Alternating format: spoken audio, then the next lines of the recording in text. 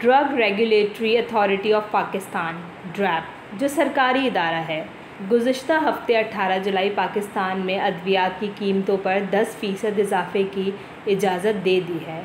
ये इजाफ़ा गुज्त 40 बरसों में एक वक्त में सबसे ज़्यादा किया गया है।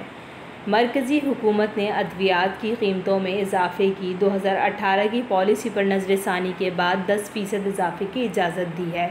कमाल ये है कि अगर पुरानी तारीख़ों में ख़रीदी हुई अद्वियात पर नज़र डाली जाए तो पता चलता है पाकिस्तान में मौजूदा हुकूमत ने इन दो बरसों में वक्ता फ़वक्ता बहुत खामोशी से कीमतों में इजाफ़ा किया है। ये इस यकीन के साथ पाकिस्तान में किया जाता रहा है कि आवाम को दाल रोटी से फुर्सत नहीं, दवाओं की कीमतों पर कौन नज़र डालेगा।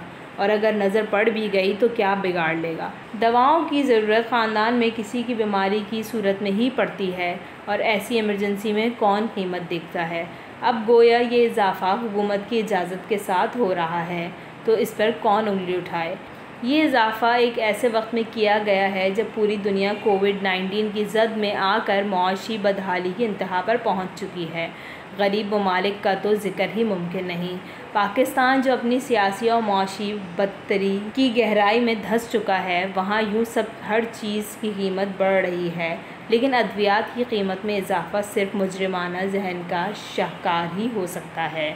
एक तरफ़ महँगाई ने आम आवाम की कमर तोड़ दी है दूसरी तरफ़ बेरोज़गारी अपनी बुलंदी पर पहुँच चुकी है। सफ़ेद पोश ख़ानदान भीख मांगने पर मजबूर हो चुके हैं। इलाज और दवाइयाँ तो बहुत दूर की बात है। रोज़ाना की दो वक्त की रोटी पूरे ख़ानदान को एक वक्त भी मैसर नहीं। और वज़ी अजम की गैर मुल्की मुशरान अपनी जायदादों का इस तरह ऐलान और चर्चा कर रहे हैं, जैसे अब वो अपनी सारी दौलत हुकूमत के हवाले करने जा रहे हैं। रियासत मदीना का पहला सबक जब आका की एक आवाज़ पर पहले खलीफा ने अपना पूरा घर लाकर कदम में डाल दिया और दूसरे खलीफा ने आधा घर सामने पेश कर दिया हमारे रसूल सल्लल्लाहु अलैहि वसल्लम ने जब पूछा अपने घर वालों के लिए क्या छोड़ा, पहले खलीफा ने इनके सारी से जवाब दिया, अल्लाह और उसका रसूल सल्लल्लाहु अलैहि वसल्लम।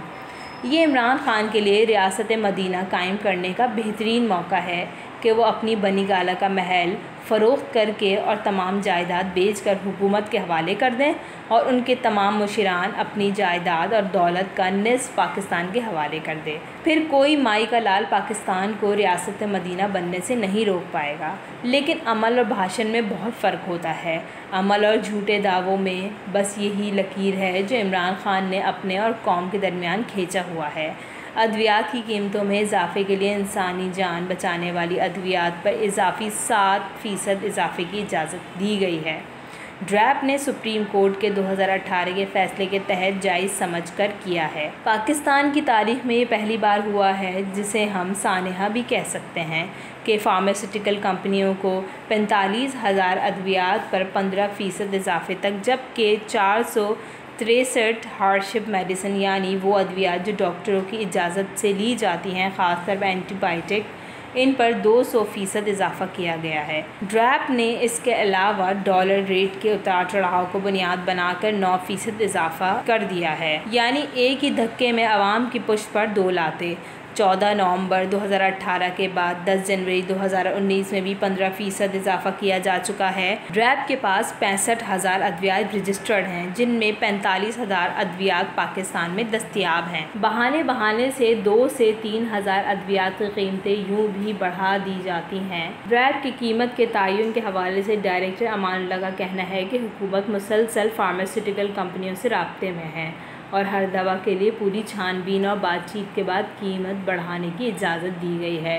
काश अमान साहब कभी आम आदमी के तौर पर दवाएँ ख़रीदने जाते या सरकारी अस्पताल के बाहर बैठे, बीमारों के लवाहिकीन की हालत ज़ार देखने की कोशिश कर लेते और आम आदमी की मजबूरियों को पहचान पाते। एक आम ख़ानदान का सरबरा जिसकी औसत आमदनी पंद्रह हज़ार रुपये माहाना हो और ख़ानदान भी मुख्तसर हो, यानी बीवी मियाँ और सिर्फ़ दो बच्चे, दो वक्त की रोटी घर का कराया और मुलाजमत तक आने जाने का खर्चा। बच्चों को अपना पेट काट कर रोटी खिलाने वाले ये मुहब वतन अफराद, जिन्हें खाना नसीब नहीं, इलाज के लिए आम मामूली सी बच्चों की बुखार का सिरप, पेनाडोल, जिस पर शायद बीस रुपए भी लागत नहीं आती, दो सौ तक की हो गई है। हर दवा की कीमत इस तरह रखी जाती है जैसे किसी बादशाह के लिए माजून बनाया गया हो, जिसमें अमरी और जवाहिर शामिल हों।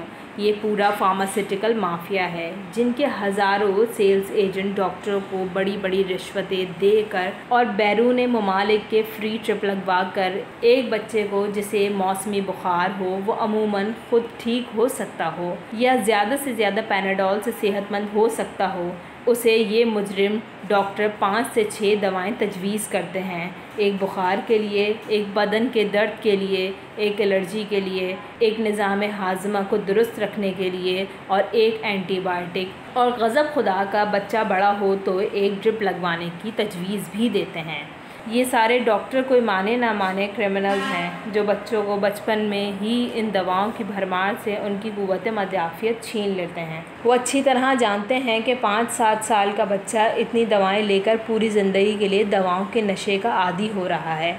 हुकूमत तमाम फार्मास्यूटिकल कंपनी को बुलाकर साफ़ कह दें कि अगर सस्ती दवाएँ नहीं बना सकते तो बोरिया बिस्तर समेट लें। और दुनिया के बेशर ममालिक से अद्वियाती कंपनीज़ को पाकिस्तान में सरमाकारी के लिए दावतें दें। दवाएँ ना मिलने से इतने लोग नहीं मरेंगे जितनी दवाओं के बहुतात इस्तेमाल से मर जाते हैं। इसकी मिसाल गुज्त छः माह से देखी जा सकती है। हर शहर में तमाम छोटे क्लिनिक बंद हैं। डॉक्टर्स घर पर छुपे हुए हैं। किसी को शिकायत करते नहीं देखा गया कि मैं क्लिनिक ढूंढ रहा हूँ। एक मोहल्ले में पाँच क्लिनिक, हर क्लिनिक में रोज़ाना सौ बच्चे। कहाँ गए सारे लोग? ये सारे डॉक्टर्स क्लिनिक बीमारियाँ तकसीम करती हैं, जो रुक गई हैं। दूसरी सेहत के हवाले से अहम नुक्ता कि कराची, लाहौर, इस्लामाबाद या दूसरे बड़े शहरों में शाम और रात गए बेतरीक गोश्त से बने हुए खाने अमवात की शरह बढ़ाने के ज़िम्मेदार हैं। हुकूमत कानून बना दे, तमाम खुले रेस्टोरेंट मगरब के बाद बंद कर दिए जाएँ और ऐसे होटल या रेस्टोरेंट जो बंद हैं और महफूज हैं, रात के दस बजे बंद कर दिए जाएँ। आप यकीन करें, हॉस्पिटल और क्लिनिक वीरान हो जाएँगे।